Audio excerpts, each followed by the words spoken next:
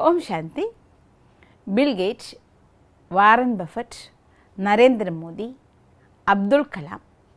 ഈ മഹാന്മാരിലെല്ലാം കാണുന്ന വിശേഷതകൾ എന്താണെന്ന് ചോദിച്ചാൽ നിങ്ങളുടെ എല്ലാവരുടെയും മനസ്സിൽ അനേകം വിശേഷതകൾ വന്നിട്ടുണ്ടാവും. ഇവരെല്ലാവരും അവരവരുടെ ഫീൽഡിലെ മാസ്റ്റേഴ്സാണ്. ഇവരെല്ലാം തന്നെ ഹാർഡ് വർക്കിംഗ് ആണ് ലക്ഷ്യം എന്താണോ ലക്ഷ്യം നേടാൻ എത്ര വേണമെങ്കിലും അധ്വാനിക്കാൻ കഴിവുള്ളവരാണ്.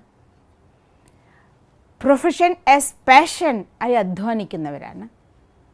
ഇതിലെല്ലാത്തിനുപരിയായി ഇവരുടെ വലിയൊരു വിശേഷതയാണ് ഇവരെല്ലാം ജീവിതാവസാനം വരെ ഈ നിമിഷം വരെയും പഠിച്ചുകൊണ്ടേയിരിക്കുന്നവരാണ്.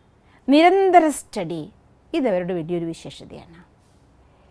എത്രത്തോളം നമ്മൾ കൂടുതൽ പഠിക്കുന്നു അത്രത്തോളം നമുക്ക് ജീവിതം പുതിയൊരു ആസ്വാദനത്തിലൂടെ മുന്നോട്ട് പോകാൻ സാധിക്കും. The mind that is stretched to a new experience will never go back to its old dimension പുതിയ അനുഭവങ്ങളിലൂടെ പഠിപ്പുകളിലൂടെ പുതിയ അനുഭവങ്ങൾ അനുഭവിച്ചുകൊണ്ടിരിക്കുന്ന മനസ്സിന് ഒരിക്കലും പഴയ അവസ്ഥയിലേക്ക് പോകാൻ സാധിക്കില്ല. അപ്പോൾ പഠിക്കും തോറും പുതിയ പുതിയ അനുഭവങ്ങളും പുതിയ പുതിയ കാഴ്ചപ്പാടുകളും പുതിയ പുതിയ ലക്ഷ്യങ്ങളും ആ ലക്ഷ്യങ്ങളിലേക്കുള്ള യാത്ര സുഖമായി പോകാനും നമുക്ക് സാധിക്കും. എത്രയും കൂടുതൽ നിങ്ങൾ പഠിക്കുന്നു അത്രയും കൂടുതൽ നിങ്ങളുടെ ഏണിംഗ് കപ്പാസിറ്റി കൂടും. പറയുക ഇങ്ങനെയാണ്. Your learning ability is your earning ability എത്രത്തോളം കൂടുതൽ പഠിക്കാനുള്ള കഴിവുണ്ടോ അത്രയും കൂടുതൽ സമ്പാദിക്കാനും നമുക്ക് സാധിക്കും. നമ്മൾ കൂടുതൽ വേഗം പഠിക്കുകയാണെങ്കിൽ നമ്മൾ അണ്ടർ പേഡിൽ നിന്നും ഓവർ പേഡിലേക്ക് മാറും. If your learning abilities faster you will turn underpaid to overpaid information അറിവ് അത് അത്രയ്ക്ക് വലിയ കഴിവുള്ളതാണ്.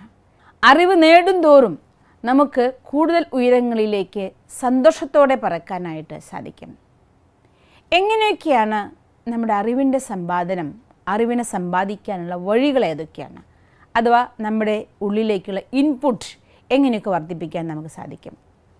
പുസ്തകങ്ങൾ വായിക്കാം വീഡിയോകൾ കാണാം വർക്ക്ഷോപ്പുകൾ അറ്റൻഡ് ചെയ്യാം ട്രെയിനിങ്ങുകളിൽ പങ്കെടുക്കാം. ഇങ്ങനെ ധാരാളം ഇന്ന് ധാരാളം തന്നെ മീഡിയയുള്ളതുകൊണ്ടും അതുപോലെ സോഷ്യൽ മീഡിയയിലൂടെയും ഇന്റർനെറ്റിലൂടെയും നമുക്ക് അധികം ചെലവില്ലാതെ തന്നെ കൂടുതൽ കൂടുതൽ ഇൻഫർമേഷൻ കിട്ടുന്ന കാലഘട്ടമാണ്. എത്ര വേണം നമ്മൾ ആഗ്രഹിക്കുന്നു? ആഗ്രഹിക്കുന്നതിനേക്കാൾ കൂടുതൽ സ്വന്തമാക്കാൻ വന്നു ചേരുന്ന അവസരങ്ങൾ ധാരാളമാണ് സ്വന്തമാക്കാനും നമുക്ക് സാധിക്കും. പക്ഷേ കേവലം പഠിച്ചുകൊണ്ടിരിക്കുക മാത്രമാണെന്ന് വിചാരിച്ചാൽ ആ പഠിപ്പിനെ ഉപയോഗിക്കാൻ പറ്റുന്നില്ല എങ്കിൽ ആ പഠിപ്പ് കൊണ്ടുള്ള ലാഭം വളരെ കുറവാണ്. ചിലപ്പോൾ ചില ആളുകളോട് നിങ്ങൾ പറയും ഈ പുസ്തകം വളരെ നല്ലൊരു പുസ്തകമാണ് കേട്ടോ. എന്നൊന്ന് വായിച്ചു നോക്കണം എന്ന് പറഞ്ഞ് കൊടുത്തു. കുറച്ച് നാളുകൾക്ക് ശേഷം ചോദിക്കുകയാണ് പുസ്തകം വായിച്ചു കഴിഞ്ഞോ? അവർ വായിച്ചിട്ടുണ്ടാവും തിരിച്ചു തരും ചെയ്യും. ഓക്കെ എങ്ങനെയുണ്ട് ബുക്ക് വളരെ സൂപ്പർ ബുക്കാണ് മറുപടി കിട്ടും. നിങ്ങൾ അവരോട് ചോദിച്ചു നോക്കൂ എന്താണ് നിങ്ങൾ ഇന്ന് പഠിച്ചത്? അവർ മറുപടി പറയാ നിങ്ങളും വായിക്കേണ്ട ഒരു ബുക്കാണ് കേട്ടോ. അതായത് ആ പുസ്തകം അവർ വായിച്ചു പക്ഷെ എന്ത് പഠിച്ചു എന്ന് ചോദിക്കുമ്പോൾ എന്തതിൽ നിന്ന് ഉൾക്കൊണ്ടു എന്ന് ചോദിക്കുമ്പോൾ അത്രയ്ക്ക് ശ്രദ്ധിച്ച് പഠിച്ചിട്ടില്ല. നമ്മൾ വായിച്ച് നമ്മൾ സ്വന്തമാക്കേണ്ടതാണ് എന്നേ അവർക്ക് പറയാൻ സാധിക്കൂ. ധാരാളം ബുക്കുകൾ വായിക്കും ധാരാളം പഠിക്കും. ഇങ്ങനെ നമ്മൾ പഠിക്കുന്ന ആ പഠിപ്പ് ഒരു ആഴമുള്ള പഠിപ്പല്ല. നമുക്ക് പറയാം ഷേലോ സ്റ്റഡി ഷാലോ ലേണിംഗ് അതൊരു വായിക്കുന്നു പഠിക്കുന്നു അറിയുന്നു പക്ഷെ സ്വന്തമാക്കുന്നില്ല. ഒരു പുസ്തകം പഠിക്കുകയാവട്ടെ ഒരു വർക്ക്ഷോപ്പ് അറ്റൻഡ് ചെയ്യാവട്ടെ അല്ലെങ്കിൽ ഒരു വീഡിയോ കാണുകയാവട്ടെ എന്താണെങ്കിലും കണ്ടതിന് ശേഷം അതിൽ നിന്ന് ഒന്നും തന്നെ നമ്മൾ സ്വന്തമാക്കിയിട്ടില്ല എങ്കിൽ ആ പഠിപ്പ് അത് നമ്മുടെ ജീവിതത്തിൽ നമുക്കൊന്നും തരുന്നില്ല എങ്കിൽ അത് കേവലം ഒരു മെന്റൽ എന്റർടൈൻമെന്റ് മാത്രമായി അവസാനിക്കും. അതിൽ നിന്ന് നമുക്ക് യാതൊരു ലാഭവും ഉണ്ടാവില്ല. ജീവിതത്തിൽ സ്വന്തമാക്കാനൊന്നും സാധിക്കില്ല. അത്തരം പഠിപ്പല്ല നമുക്ക് ആവശ്യം. നമുക്ക് ആവശ്യം ഡീപ്പ് ലേണിംഗ് അതായത് എന്താണോ പഠിച്ചത് ആ പഠിച്ചതിൽ നിന്ന് നമ്മുടെ പ്രൊഫഷണൽ ലൈഫിലോ കുടുംബ ജീവിതത്തിലോ സോഷ്യൽ ലൈഫിലോ പേഴ്സണൽ ലൈഫിലോ എവിടെയെങ്കിലും എന്തെങ്കിലും ഉൾക്കൊള്ളാനും പ്രവർത്തിക്കാനും സാധിക്കണം. അത്തരം പഠനത്തിന് മാത്രമേ നമ്മുടെ ജീവിതത്തിൽ ഒരു മാസ്റ്ററി നേടിത്തരാൻ സാധിക്കുള്ളൂ. അത്തരം പഠനമാണ് നമുക്ക് ആവശ്യമായിരിക്കുന്നതും. എത്ര കൂടുതൽ നമ്മൾ നമ്മുടെ പഠിപ്പിൽ നിന്ന് ഔട്ട്പുട്ട് അഥവാ പഠിച്ച കാര്യങ്ങളെ പ്രവർത്തിക്കാൻ ശ്രമിക്കുന്നോ ശ്രദ്ധിക്കുന്നോ അത്രയും കൂടുതൽ ഈസിയായി നമുക്ക് മാസ്റ്ററി അഥവാ അതിന്റെ പ്രാഗൽഭ്യം സ്വന്തമാക്കാനായിട്ട് സാധിക്കും. അപ്പോൾ പഠിക്കുന്ന സമയത്ത് നമ്മളെല്ലാവരും ഒരു കാര്യം സ്വന്തമാക്കുമ്പോൾ ശ്രദ്ധിക്കേണ്ട കുറച്ച് കാര്യങ്ങളുണ്ട്. നാല് സ്റ്റെപ്പിലൂടെ കടന്നു പോയാൽ നമുക്ക് എന്തൊന്ന് പഠിക്കുന്നു ആ പഠിപ്പിന്റെ മാസ്റ്ററിയിലേക്ക് എത്തിച്ചേരാൻ സാധിക്കും. അതിൽ ഒന്നാമത്തെ സ്റ്റെപ്പാണ് ലേണിംഗ് പഠിക്കുക. ഒരു കാര്യം പഠിക്കുന്ന സമയത്ത് ശ്രദ്ധിക്കേണ്ട കാര്യം മൾട്ടി ടാസ്കിങ് നമ്മൾ ഒഴിവാക്കണം. ഇന്ന് എല്ലാവരും മൾട്ടി ടാസ്കേഴ്സാണ് ഒരേ സമയം പല കാര്യങ്ങൾ ചെയ്യാൻ കഴിവുള്ളവരാണ്. പക്ഷെ ഒരേ സമയം പല കാര്യങ്ങളും നമ്മൾ ചെയ്യുമ്പോൾ നമ്മുടെ എഫിഷ്യൻസി പൂർണമായിട്ട് നമുക്ക് ഉപയോഗിക്കാൻ കഴിയില്ല. എന്താണ് ഇതിന് നമ്മളെ പ്രേരിപ്പിക്കുന്നത്? ഇലക്ട്രോണിക് സാധനങ്ങൾ അതായത് മൊബൈൽ ഇന്റർനെറ്റ് ഒക്കെ നമ്മുടെ കയ്യിൽ കൂടുതലാണ് നമ്മൾ എന്തെങ്കിലും വായിച്ചുകൊണ്ടിരിക്കുകയായിരിക്കും പഠിച്ചുകൊണ്ടിരിക്കുകയായിരിക്കും പെട്ടെന്നാണ് ഒരു അലർട്ട് മെസ്സേജ് വരിക. ഉടനടി ആ മെസ്സേജിന്റെ അലർട്ട് കേട്ടതും നമ്മൾ നോക്കും. ഓ അത്യാവശ്യമുള്ള മെസ്സേജാന്ന് തോന്നി അതിന് മറുപടി കൊടുക്കും. അല്ലെങ്കിൽ ഒരു ഫോൺ വന്നു നമ്മൾ അറ്റൻഡ് ചെയ്യും അതിന് മറുപടി കൊടുക്കും.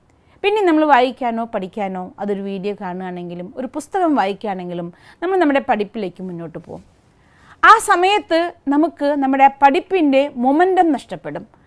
അതിന്റെ ഡെപ്ത് നഷ്ടപ്പെടും.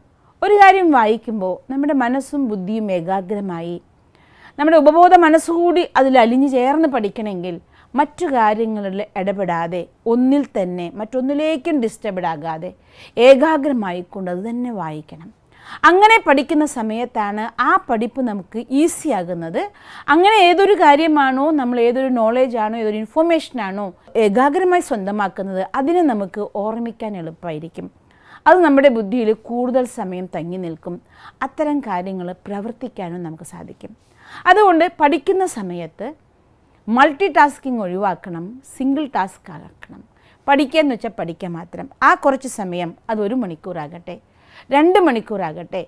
മറ്റ് ഫോണോ അല്ലെങ്കിൽ ഇന്റർനെറ്റോ അല്ലെങ്കിൽ കമ്പ്യൂട്ടറോ മറ്റ് വർത്തമാനങ്ങളോ യാതൊന്നുമില്ലാതെ പുസ്തകവും നമ്മളും മാത്രം അല്ലെങ്കിൽ വീഡിയോ കാണുകയാണെങ്കിൽ ആ വീഡിയോ കാണുന്നത് മാത്രം എഴുതുകയാണെങ്കിൽ എഴുതുന്നതിൽ മാത്രം. അങ്ങനെ എപ്പോഴാണോ മനസ്സിനെ ഏകാഗ്രമാക്കി പഠിക്കുന്നത് ആ സമയത്താണ് നമ്മുടെ പഠിപ്പ് ആഴത്തിലേക്ക് പോകാനും നമുക്ക് ആ പഠിപ്പിനെ ഓർമ്മിക്കാനും പിന്നൊരു സമയത്ത് ഉപയോഗിക്കാനും എളുപ്പമാകുന്നത്. രണ്ടാമത്തെ സ്റ്റെപ്പാണ്. ലേണിംഗ് കഴിഞ്ഞാൽ അടുത്തത് റിഫ്ലക്റ്റിംഗ് ആണ്. റിഫ്ലക്റ്റ് ആ പഠിച്ച കാര്യത്തിനെ നമ്മളൊന്ന് വീണ്ടും ഓർത്തു നോക്കണം. ഞാൻ എന്താണ് പഠിച്ചത്? എന്താണ് വായിച്ചത്? അതിൽ നിന്ന് എന്താണ് ഞാൻ ഉൾക്കൊണ്ടത്? ഇത് എന്റെ ജീവിതത്തിൽ ഏതെങ്കിലും തലത്തിലേക്ക് എവിടെയാണ് ഉപയോഗിക്കേണ്ടത്? ആ കാര്യത്തെക്കുറിച്ച് നമ്മൾ മനസ്സിലാക്കിയിട്ടുണ്ടായിരിക്കണം. അപ്പോഴേ ആ ജ്ഞാനം നമ്മുടെ ഉള്ളിൽ തങ്ങി നിൽക്കുള്ളൂ. മൂന്നാമത്തെ സ്റ്റെപ്പാണ് ഇംപ്ലിമെന്റ്. ഏതൊരു കാര്യമാണോ നമ്മൾ പ്രവർത്തിക്കുന്നത് നിങ്ങളും കേട്ടിട്ടുണ്ടാവും. Use it or lose it എന്ന് ഒരു കാര്യം എപ്പോൾ നമ്മളതിനെ ഉപയോഗിക്കുന്നോ അതേ നമുക്ക് സ്വന്തമാകുള്ളൂ. ഇല്ലെങ്കിൽ കാലം കഴിയുമ്പോൾ അത് നമ്മളിൽ നിന്ന് അപ്രത്യക്ഷമായി പോകും. അഥവാ നമ്മൾ മറന്നു പോകും. എവിടെ ഒരു കാര്യം നമ്മൾ ഇംപ്ലിമെന്റ് ചെയ്യുന്നോ അവിടെ അത്ഭുതങ്ങൾ സംഭവിക്കും. നമ്മൾ പോലും ഒരു കാര്യം മനസ്സിലാക്കിയെന്ന് വിചാരിച്ചതിന്റെയും പല ഭാഗങ്ങളും മനസ്സിലാക്കിയിട്ടുണ്ടാവില്ല. അത് പ്രവർത്തിക്കാൻ വേണ്ടി നമ്മൾ ഇറങ്ങുമ്പോഴാണ് അതിന്റെ പൂർണ അവസ്ഥയിൽ നമുക്ക് എല്ലാ തലങ്ങളിലും അതിനെ മനസ്സിലാക്കാൻ സാധിക്കാം. ഒരു പുതിയ കാര്യം കേട്ടു അതിനെ വായിച്ചു നമ്മൾ എക്സൈറ്റഡ് ആയി എൻജോയ് ചെയ്തു. Wonderful knowledge wonderful way of explanation ഇനിയൊക്കെ നമ്മൾ പറഞ്ഞു അതിനെ കേട്ടു ആനന്ദിച്ചു.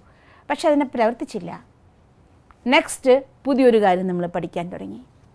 ഇങ്ങനെ പുതിയ പുതിയ കാര്യങ്ങൾ പഠിക്കുന്നു എല്ലാം നമ്മൾ എക്സൈറ്റഡ് ആകുന്നു എൻജോയ് ചെയ്യുന്നു. പക്ഷേ ഒന്നും പ്രവർത്തിക്കുന്നില്ല. അങ്ങനെ നമ്മൾ ആ പഠിപ്പിന്റെ മാർഗത്തിൽ പോകുകയാണ് എങ്കിൽ നമുക്ക് നമ്മളെക്കുറിച്ച് ഒരു മിസ് അണ്ടർസ്റ്റാൻഡിങ് വരും. നമ്മൾ വിചാരിക്കും ആ കാര്യത്തിൽ നമ്മൾ വളരെ പ്രഗത്ഭരാണ്. അതിനെക്കുറിച്ച് നമുക്ക് എല്ലാ തലത്തിലുള്ള അറിവുണ്ട്. പക്ഷേ അതിനെ പ്രവർത്തിക്കാത്തത് കൊണ്ട് തന്നെ അതിന്റെ പൂർണ അറിവ് ഒരിക്കലും നമ്മുടെ കയ്യിലുണ്ടാവില്ല അപ്പം നമ്മൾ നമ്മൾ മാസ്റ്ററാണെന്ന് വിചാരിക്കുകയും പ്രവർത്തിക്കാൻ നോക്കുമ്പോൾ പല കാര്യങ്ങളും നമുക്ക് അറിയാതിരിക്കുകയും ചെയ്യും. അപ്പോൾ ഇല്ലാത്ത ഒരു പ്രാഗൽഭ്യത്തെക്കുറിച്ച് കഴിവിനെക്കുറിച്ച് ഉണ്ടെന്നൊരു ധാരണ പ്രവർത്തിക്കാത്ത ഇൻഫോർമേഷനൊക്കെ നമുക്ക് തരും. ഒരു കൃഷി ഓഫീസർ തന്നെ ആവട്ടെ. കൃഷി എങ്ങനെ ചെയ്യണം എന്ന് എല്ലാ തലങ്ങളും പഠിച്ചു വെച്ചാലും എപ്പോഴാണോ അത് ചെയ്തു നോക്കുന്നത് അപ്പോഴാണ് നമുക്ക് ആ കാര്യത്തെക്കുറിച്ച് ഈസി ആയിട്ട് ചെയ്യാൻ പറ്റുന്നുണ്ടോ? അല്ലെങ്കിൽ അതെല്ലാം തടസ്സമുണ്ട്? എന്നൊക്കെ മനസ്സിലാക്കാൻ പറ്റൂ. അപ്പോൾ ഏതൊരു അറിവാണെങ്കിലും ശരി ആ അറിവിനെ നിങ്ങൾ എത്രത്തോളം പ്രവർത്തിക്കുന്നു പ്രവർത്തിക്കും തോറും അത് നിങ്ങളുടെ സ്വന്തമായി തീരും. ഇല്ലെങ്കിൽ സ്വന്തമാണെന്ന മിഥ്യാധാരണയിൽ നമ്മൾ നമ്മളെക്കുറിച്ചുള്ള തെറ്റിദ്ധാരണയിലിരിക്കും.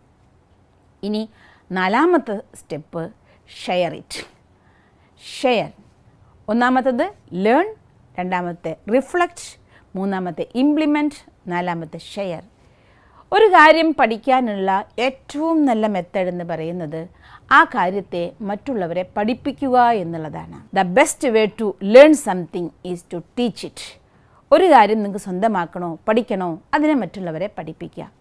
കൂടുതൽ പഠിപ്പിക്കും തോറും കൂടുതൽ അതിന്റെ ആഴങ്ങൾ നമുക്ക് മനസ്സിലാക്കാനും നമ്മുടെ ബുദ്ധി അതിൽ കൂടുതൽ വർക്ക് ചെയ്യുകയും കോൺസെൻട്രേറ്റ് ചെയ്യുകയും അതിന്റെ പ്രാഗൽഭ്യം നമുക്ക് സ്വന്തമാക്കാനും സാധിക്കും. അഥവാ നമ്മൾ ആ കാര്യത്തിൽ പ്രഗത്ഭരാകും. അതുകൊണ്ട് ഏതൊരു കാര്യമാണോ നിങ്ങൾക്ക് പഠിപ്പിക്കാൻ സാധിക്കാത്ത വിധത്തിലുള്ള അറിവാണ്. എന്നാലും പറഞ്ഞു കൊടുക്കാലോ പൂർണമായിട്ട് ക്ലാസ് എടുക്കാനോ അല്ലെങ്കിൽ അതുപോലെ അത് പഠിപ്പിച്ചു കൊടുക്കാനോ പറ്റില്ലെങ്കിലും അറിയുന്ന രീതിയിൽ മറ്റുള്ളവർക്ക് ഷെയർ ചെയ്ത് കഴിഞ്ഞാൽ അതിന്റെ ആഴങ്ങൾ നമ്മൾ കൂടുതൽ കൂടുതൽ നമ്മുടെ ബുദ്ധി അതിൽ കോൺസെൻട്രേറ്റ് ചെയ്യും അതിനും സ്വന്തമാക്കാൻ സാധിക്കും. അപ്പോൾ ഒരു കാര്യത്തിൽ മാസ്റ്ററി നമുക്ക് വേണോ? മാസ്റ്ററി ഇന്ന് വരെ നേടിയ എല്ലാവരും എല്ലാ അറിവും നേടിയതിന് ശേഷം പ്രവർത്തിക്കുകയല്ല. അവർക്ക് എത്ര അറിവ് കിട്ടിയോ അതിന്റെ കൂടുതൽ അറിവ് അവർ കൊടുക്കാൻ വേണ്ടി പരിശ്രമിക്കുക. നേടാൻ വേണ്ടി പരിശ്രമിക്കുന്നതിനേക്കാളും കൊടുക്കാൻ വേണ്ടി പരിശ്രമിക്കുക. സപ്പോസ് നമ്മളൊരു എക്സ് ടൈമാണ് നമ്മൾ കാര്യങ്ങളെ സ്വന്തമാക്കാൻ വേണ്ടി ഉപയോഗിക്കുന്നതെങ്കിൽ ടു എക്സ് സമയം അഥവാ ഡബിൾ സമയം അതിനേക്കാൾ ഇരട്ടി സമയം മറ്റുള്ളവർക്ക് കൊടുക്കാൻ വേണ്ടി നമ്മൾ തയ്യാറാകണം. ആ ഒരു രീതിയിൽ നമ്മുടെ മനസ്സിനെ നമ്മൾ സെറ്റ് ചെയ്തു വെച്ചാൽ നമ്മൾ തീർച്ചയായും നമ്മുടെ മാസ്റ്ററിയിലേക്കുള്ള വഴിയിലാണ്. ഇന്നല്ലെങ്കിൽ നാളെ നമ്മൾ നമ്മുടെ ഏത് ഫീൽഡിലാണോ അതിലേറ്റവും ഉയർന്ന മാസ്റ്ററായി തീരാൻ സാധിക്കും. പ്രഗത്ഭരായി നിങ്ങൾ തീർന്നിരിക്കും.